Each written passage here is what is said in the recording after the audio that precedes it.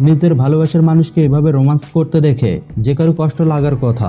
সম্প্রতি শাকিব খানের প্রিয়তমা সিনেমার একটি রোমান্টিক প্রেমের গান রিলিজ পেয়েছে, যেখানে শাকিব খানের বিপরীতে পারফর্ম করতে দেখা যায় ইদিকা পলকে।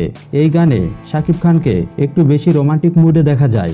হিমেল আশরাফ পরিচালিত শাকিব খানের প্রিয়তমা সিনেমা এবার ঈদে রেকর্ড করতে এসেছে। শাকিব খানের কুরবানি কুরবানি গানের পর, ও প্রিয়তমা, এই গানটিও ইউটিউব, ফেসবুকে ঝড় তুলেছে।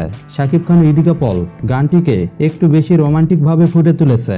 একে অপরের চোখে চোখ রাখা, একে অপরকে স্পর্শ করা, প্রতিটি স্টেপে এতটাই রিয়েল ইমপ্রেশন দিয়েছে যে, ও প্রিয়তমা গানটি রোমান্টিক গানের সার্থকতা পেয়েছে। এই সিনেমার শুরু থেকেই শাকিব খানের নায়িকা হিসেবে ইদিকা পলের ব্যাপক সমালোচনা করা হয়। তবে ইদিকা পল এই গানের মাধ্যমে বুঝিয়ে দিয়েছেন কেন তিনি শাকিব খানের প্রিয়তমা। অপু বিশ্বাসের পর এই প্রথম শাকিব খানকে কোনো নায়িকার সাথে এতটা রোমান্টিক মুডে দেখা যায়। শাকিব খান ভালো একটা সিনেমার অপেক্ষায় ছিলেন আর প্রিয়তমার গল্প শোনার পর তিনি নিজের সেরাটা দেওয়ার চেষ্টা করছেন। প্রতিটি সেক্টরে নিজের সেরাটা দিয়ে যাচ্ছেন।